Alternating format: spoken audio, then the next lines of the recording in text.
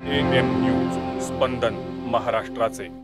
लोकसभा निवडणुकीमध्ये पंतप्रधान नरेंद्र मोदींच्या विजयानंतर आंतरराष्ट्रीय टाइम या नियतकालिकानं यू टर्न घेतलेला आहे.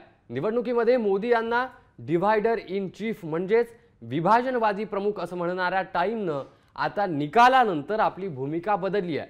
टाईमनं आता मोदींनी जसं भारताला एकजूट केलंय तसं कोणत्याही पंतप्रधानांनी केलं नाही. या दशकात तसं काही घडलं नाही असं म्हटलेलं आहे आणि त्यामुळं टाईमच्या या बदललेल्या भूमिकेची चर्चा राजकीय आणि माध्यमा क्षेत्रांमध्ये रंगलेली आहे चांगलीच रंगत मिळाली आणि हे चित्र आपण पाहतोय. टाईमनं निवडणुकीपूर्वी मोदींचं छायाचित्र मुखपृष्ठावर प्रकाशित करत भारताचे विभाजनवादी प्रमुख हा एका लेखाचा मथळाही मुखपृष्ठावर प्रकाशित केला होता. तेव्हा त्यावर चांगलीच चर्चा रंगली होती आणि आता भूमिका बदलल्याचं आपल्याला पाहायला मिळतं स्पंदन. महाराष्ट्राचे.